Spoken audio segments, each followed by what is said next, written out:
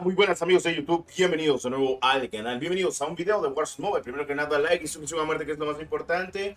Activa la campanita por si no te quieres perder nada y pues por si no has actualizado, tienes el APK actualizado eh, completamente en lo que es el comentario fijado. Bueno, la actualización para Apple llegó tarde, como siempre llega, la de Android llegó como dos horas después de que salió la actualización para PC y consolas, pero lo importante, vamos a hablar a detalle de esto, y es la nueva configuración gráfica que ha ayudado mucho a que el juego sea mucho mejor optimizable en cierto punto. Bueno, dependerá de tu dispositivo. Así que para probarlo, deberías de probarlo en tu dispositivo a ver qué tal te va. Y bueno, si te va mal, desinstálalo. Si te va bien, perfecto. Me alegro mucho por ti. Y el tema, pues como siempre lo recomiendo, en el tipo de sobrecalentamiento que ahorita no he notado tantas temperaturas exigentes como en otras actualizaciones. Igual siempre es recomendable jugar con un Fun Cooler porque al día de hoy en juegos pesados como lo que es el Warzone Mobile se recomienda utilizar Fun Cooler si vas a jugar a lo largo de más de dos horas y media en tus sesiones de juego. En fin, vamos a darle. Vamos a la opción de configuración gráficos y es que ahora tenemos configuraciones gráficas más avanzadas, por así decirlo. Recuerden que yo les dije que era bueno que sacaran la opción de las sombras. Pues bueno, vino Warzone y la saca. Lo más recomendado en la calidad de la sombra es siempre todo ponerlo en bajo. La sombra es un problema que siempre da optimización en cualquier tipo de juego, ya sea en PC o en móviles. En dado caso, que puedes configurar mucho este, este estilo de, de pues, gráficos. En fin, yo utilizo esta configuración, pero es una configuración que utilizo para que el juego vaya estable mientras estoy streameando, mientras grabo videos, mientras juego por muchas horas. Ahora, eh, yo te cambiaría de aquí tanto para dispositivos gama media, media alta. En vez de calidad visual ponerla entre medio y bajo, no estaría mal. O sea, yo la tengo en alto para que sea un poco mejor. Eh, eh, los cuadros por segundo yo los tengo en sin límite. A veces es bueno tenerlo entre alto o medio o la estándar Estándar creo que si no estoy mal debería ser 30 FPS, medio 45 FPS, alta entre 60 y 90 y sin límite pasaría de los 90 FPS en dado caso tu dispositivo tiene una pantalla mayor a 90 Hz. En dado caso, pues la pantalla que yo utilizo tiene una pantalla mayor a 144 Hz. Algunos dispositivos móviles tienen pantalla de 120 Hz o 90 Hz. Es muy raro tener pantallas al día de hoy de que tengan 60 Hz en lo que es la pantalla que ustedes utilizan. Okay. En calidad de aumento de resolución, esto tiene que ver mucho con el teselado del juego, si no estoy mal, la carga de textura del juego, incluso creo que lo dice también, de que aumenta la resolución del juego y la calidad del renderizado. Sí, básicamente como lo había comentado, tiene que ver mucho con el renderizado. Eh, yo lo tengo en alto porque actualmente pues el postprocesado y el renderizado de mi dispositivo no es malo. Así que lo que recomiendo en dispositivos que ustedes tengan o algo por el estilo, eh, póngalo en alto para probarlo. Pero si miran algún que otro problema con la calidad de aumento de resolución, póngalo en bajo. Les explico, en modo multijugador es bueno que lo tengan en bajo.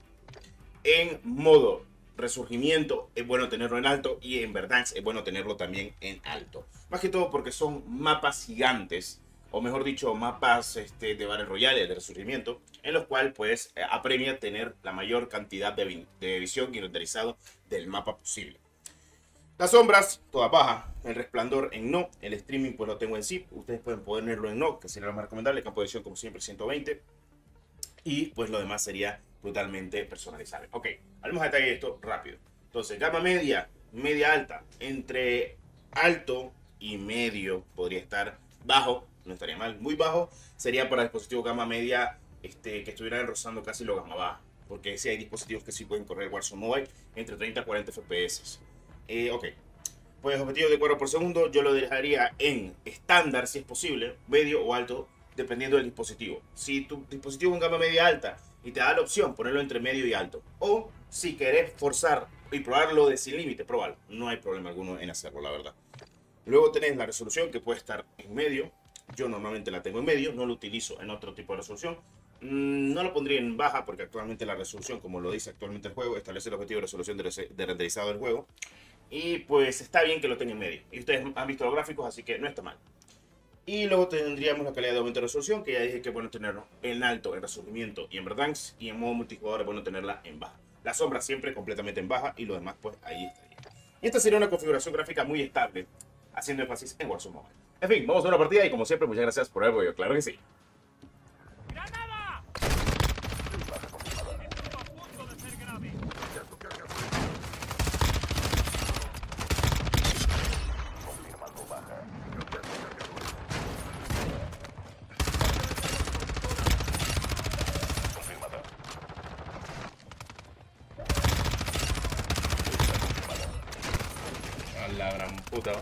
Buena mierda, eh.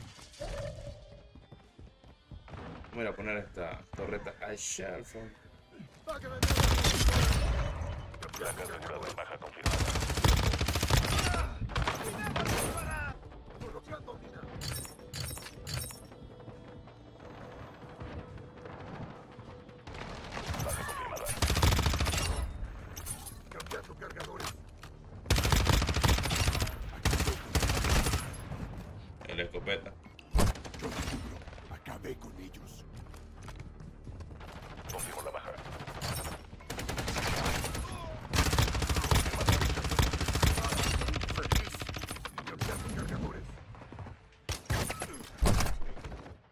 Si sale jodido. ¡Va!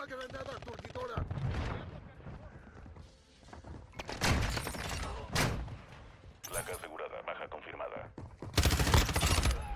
Dónde cambiando cargadores.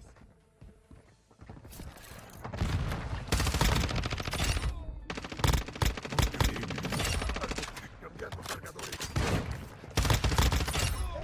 Confirmando baja. Confirmada. La nuestra. Exacto.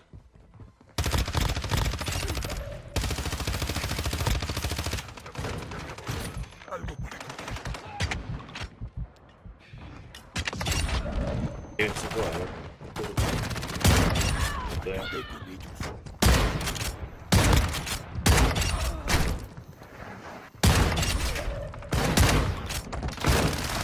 A la verga. Tío, la reclaimer, reclaimer contra reclaimer, sí, con la voluntad. จะตีไ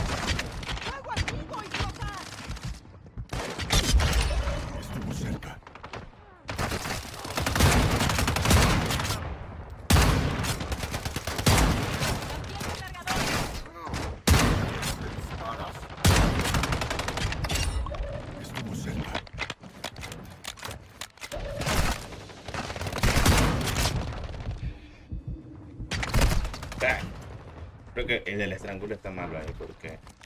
No, no creo, ni, no creo que necesite.